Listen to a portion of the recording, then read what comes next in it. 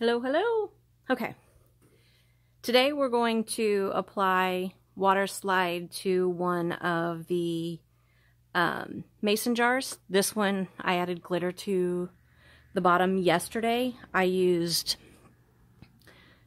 the dishwasher safe Mod Podge and just the cheap glitter from Walmart and it has dried overnight so we're going to work with it today before we're going to do the water slide and then I'll epoxy it later. So these are the jars. I got them at Walmart. I saw this from uh, Tumbler tutorials and I think Caitlin is the one that did it. I got my water slide today. Yes, you see? It is for inkjet white and inkjet clear. Yay! So, this is the design we're going to put on this cup.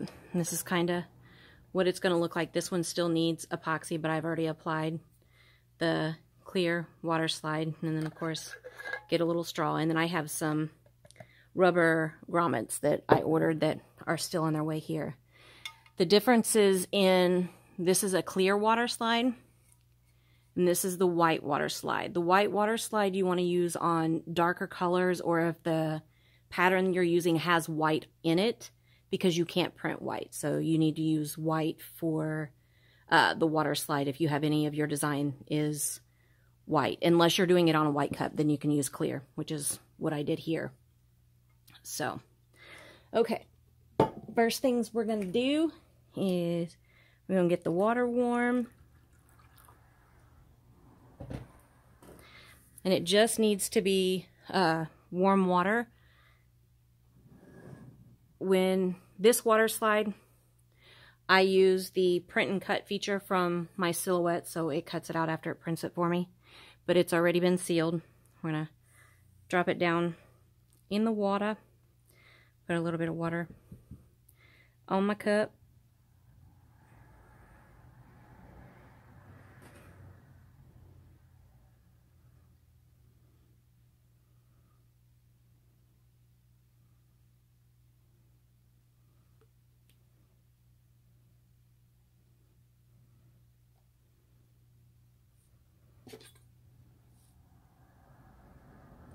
This stuff's pretty easy to move around and manipulate.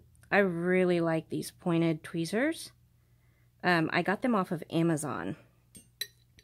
And they are amazing for working the folded edges that might fold back on themselves.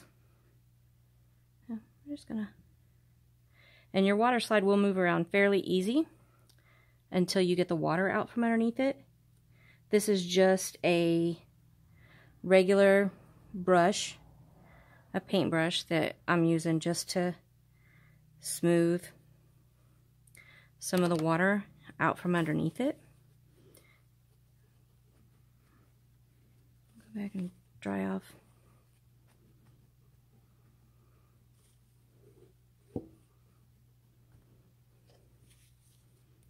And all you're going to do is work all those bubbles out. It is really, really easy uh, to work with water slide. Your first time or two, you're just going to be like, oh. But it really is just that simple. And once you get all of your air bubbles out and all of it's off, you have your water slide on, like I said, this will get a cute little cup. And the top I'm going to put a piece of vinyl on after I put my grommet in there. But this is going to be one of the things I now start to offer. Like I said, I didn't do this myself. I saw a uh, another lady that does tutorials. Her name is Caitlin. I can't remember her last name at the moment, but she is from uh, Tumbler tutorials, something like that.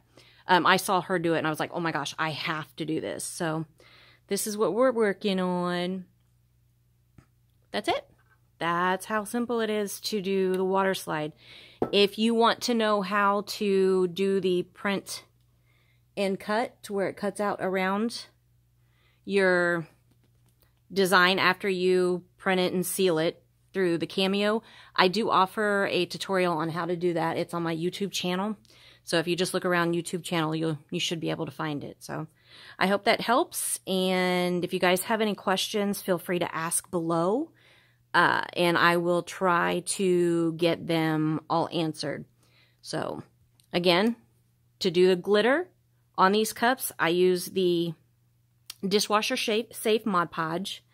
Uh, there's all kinds of glitters you can buy. The one that I use, this one was from Walmart, but they have glitters everywhere.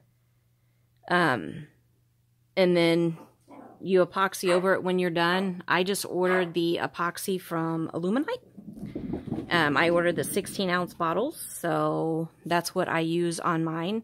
You drop your paper in your warm water, it'll separate from the backing sheet. Put it on, you just want to smooth it out and dab it dry and you're good to go. And then this one will just need a coat of epoxy and it will be done.